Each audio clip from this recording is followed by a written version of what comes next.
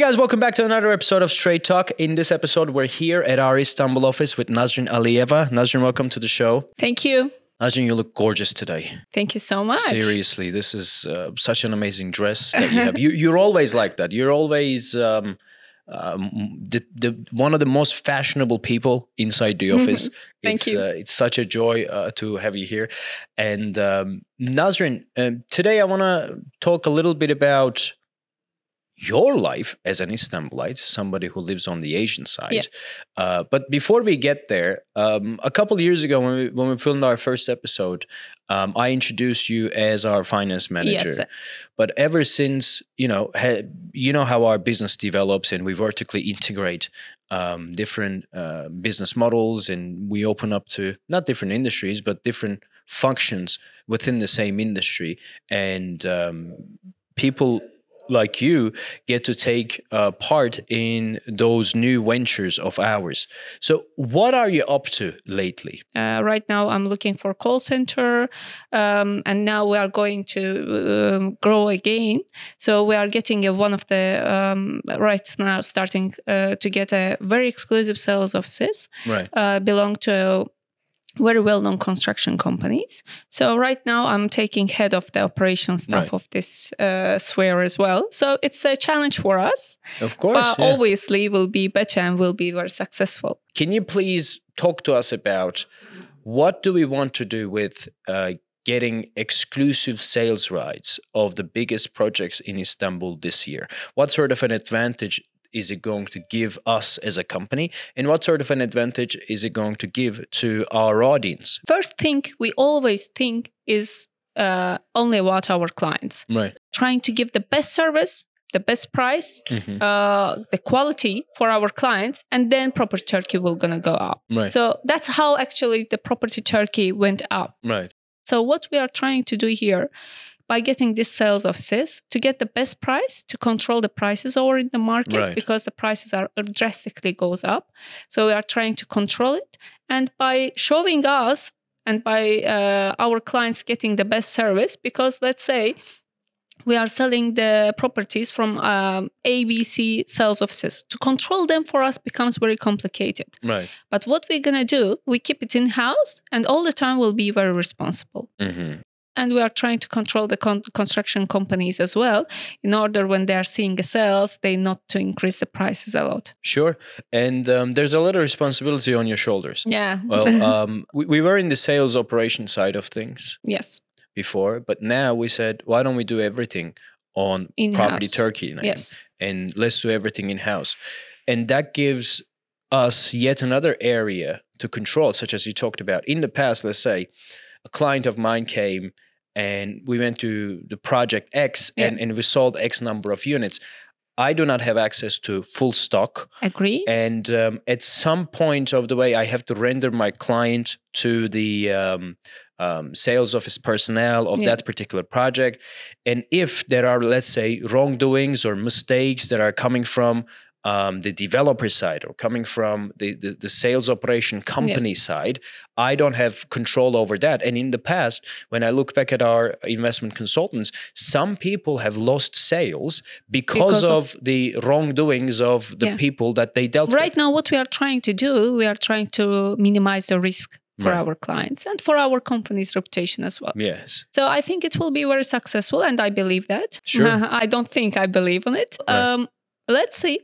We, Sure. will, we will make a good show there this Of year. Of course. Nazrin, the reason why I wanted to talk to you today was because uh, we were discussing with you.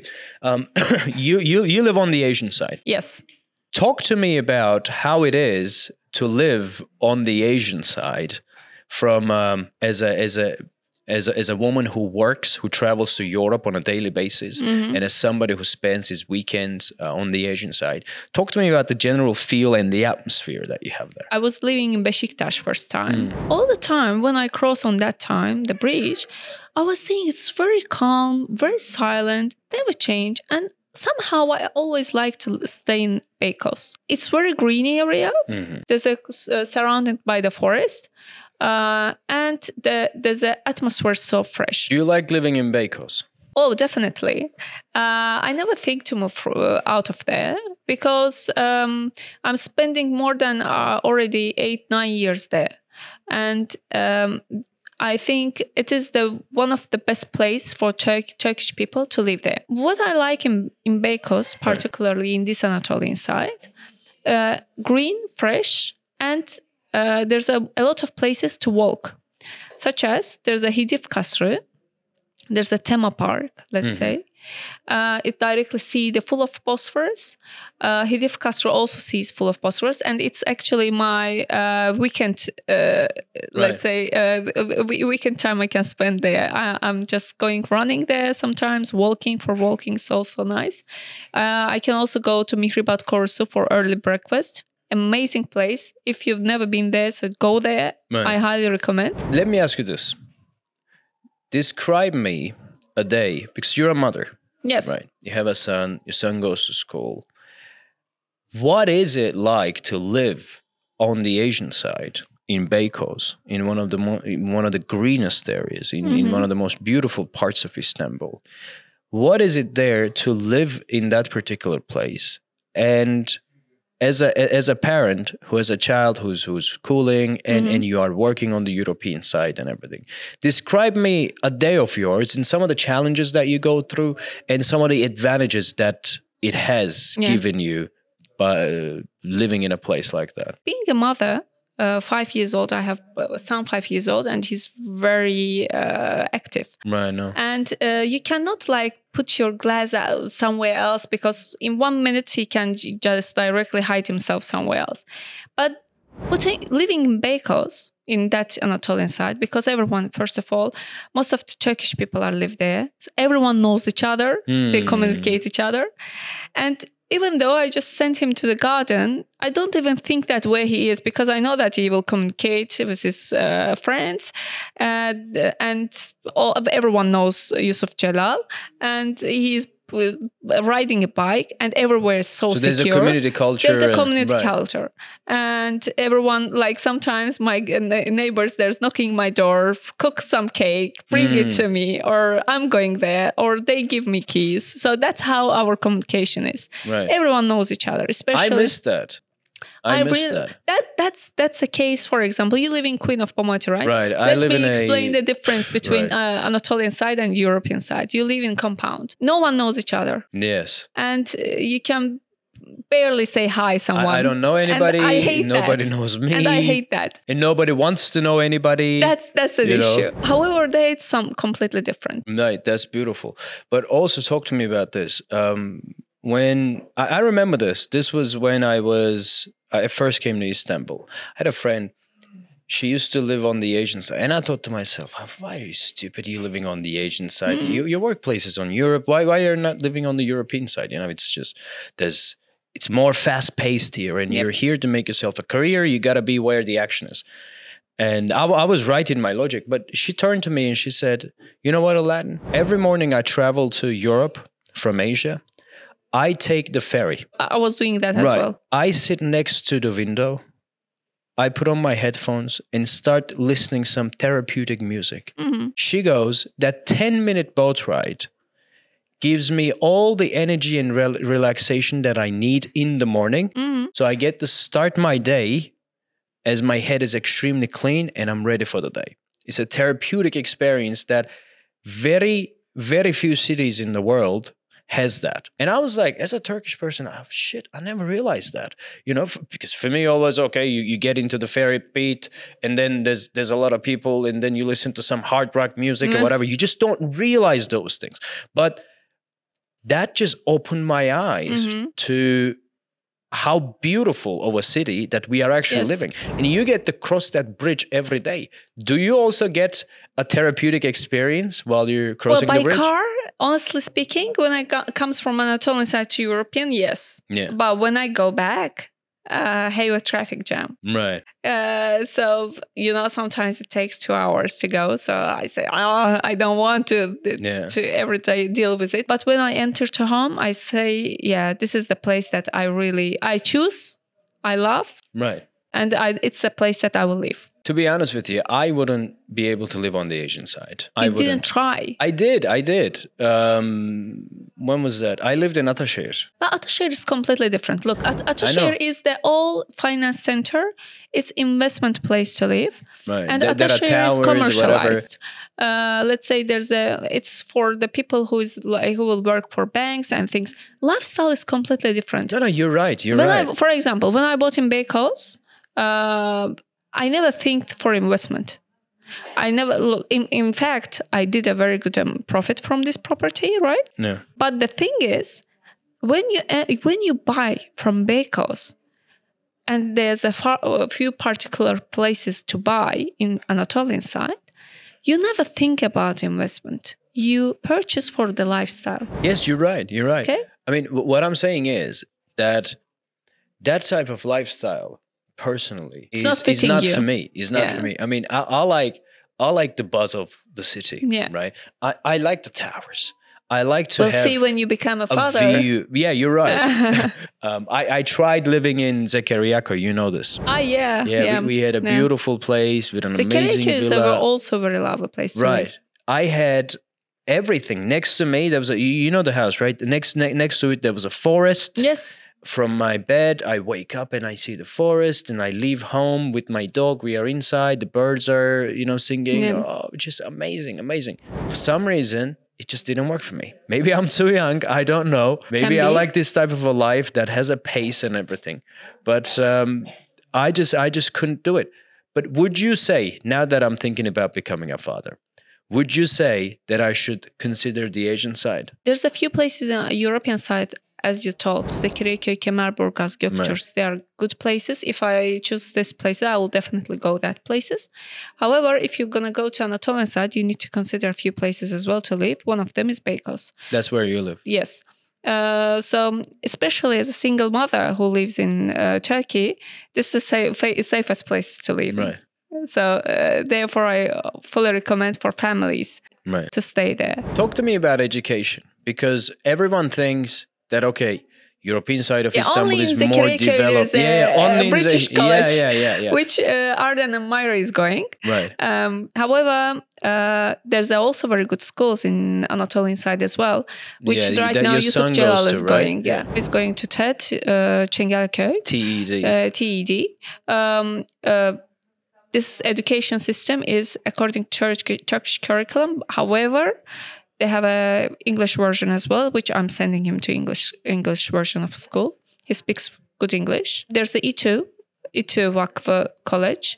Um, it's a uh, branch of uh, one of the branch of İTÜ. You know İTÜ, uh, everyone. There's a university and they have schools as well. There is um, Doğa Koleji. It's a very massive uh, building and very massive guard. There's a um, horse riding, uh, swimming, a massive There's swimming all sorts of pool. yes, yes, yes, yeah. have everything. Tennis courts as well, uh, which was very important for me. So I like this uh, this school as well. There's a few good schools. They are also have IB bachelor system as well, and uh, fully English version of the schools as well. Talk to me about this college that your son goes to. is there?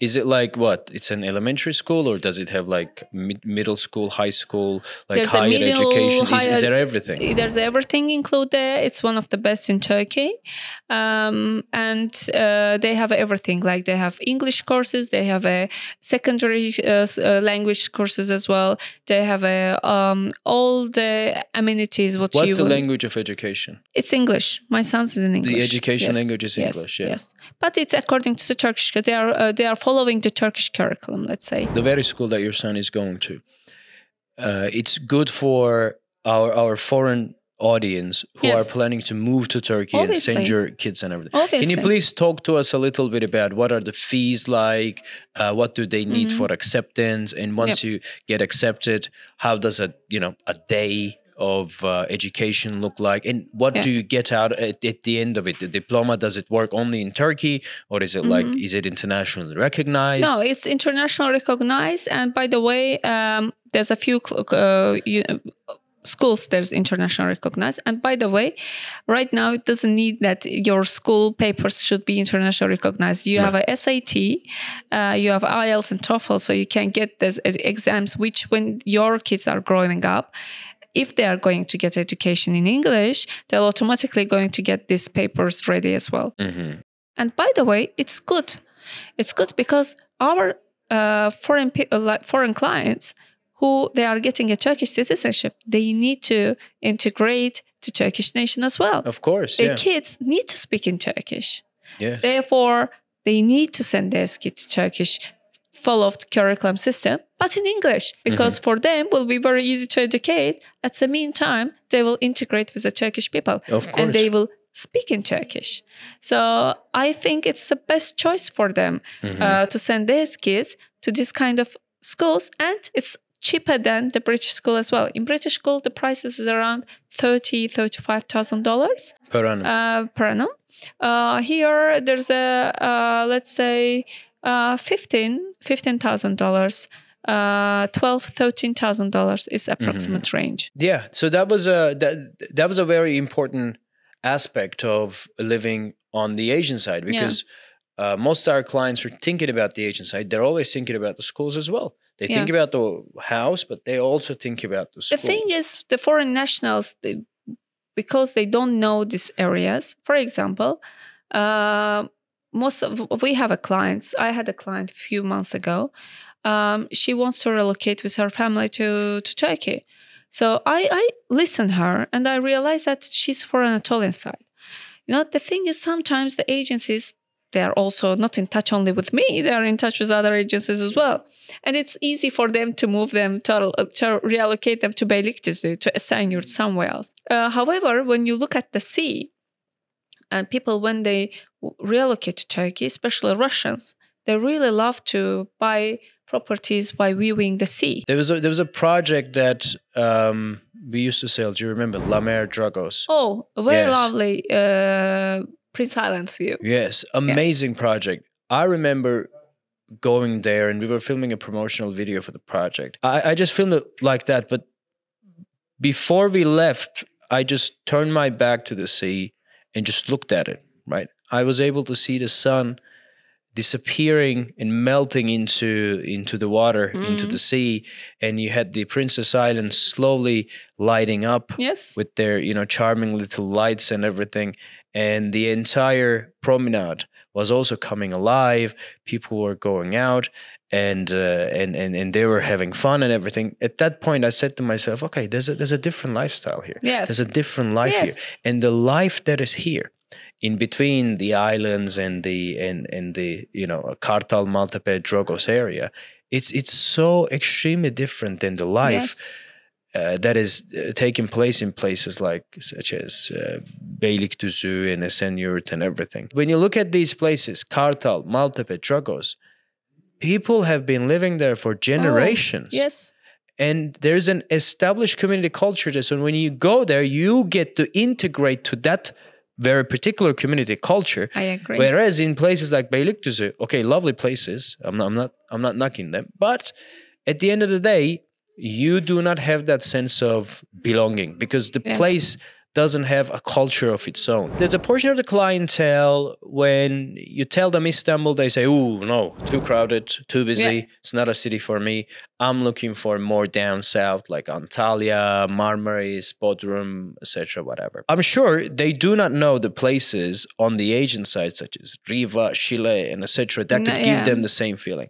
Talk to me because you, you do also have a property in, Yes. in one of those places. yes Talk to me about what kind of a uh, sea resort lifestyle is is possible within the Asian Th- side. this is actually the place for me to uh, spend whole of my pandemic time right. uh, during the covid time you know it's surrounding by forest and there's a very lovely beach to go so um, uh, it's it's really amazing a resort place for turkish people knows for all locals known by locals uh, after this covid it becomes very popular because everyone goes started to purchase property there uh, and um, if if you've never been there, just go there, um, and you can see how um, the green forest can combine with the sea. Mm. Riva as well, the same. Um, and it's really like it's imagine 40 minutes Yeah, yeah, yeah. like i'm spending my uh, hours in the traffic daily you know it takes just 40 minutes to Yeah. go there to relax during weekends I think to myself from time to time, man, why do not I have a place in one of these little towns Yes. on the Asian side? So on weekends I can go there for relaxation. yes And and mo- most people are doing that. place Yeah. it's definitely the perfect place to have a relax especially when you want to change your place uh, and every time you're living in apartment it's very nice to stay in the garden enjoy with the garden enjoy with the swimming pool especially when you have kid um, and go to the seaside for Mhm. walk even for winter time sometimes i'm going there They're beautiful places. yes Nazrin, thank you very much. you're welcome It's been a lovely catch up. Um, if uh, if I am to summarize what we actually talked about, is well, actually we talked about a couple of things. Nazrin is somebody. She is uh, she's somebody that you know, and she's a single mother living in on the Asian side. She has a son that goes Yeah. to um, one of the best schools uh, in Istanbul. And uh, we talked about the education part of it. We said that on the Asian side, you do not have less opportunities for quality education. We said there's there's more quality housing, there's there's more culture there, and and the community culture. Uh, as uh, when you when you look at the nature, it is more abundant on the Asian side. And if you are thinking about owning a piece of lifestyle, Asian side is a great place to do that, and uh, that's what um, Nazrin has done. And Nazrin says that she's extremely happy that she has done that. yes Anything else that you want to add? thank you for if the clients really want to know about more in Anatolian side for lifestyle they can contact me as well Sure. Uh, with this WhatsApp number, you can contact us. I'll get you in touch directly with Nazrin if you have any specific questions about um, where exactly you want to live.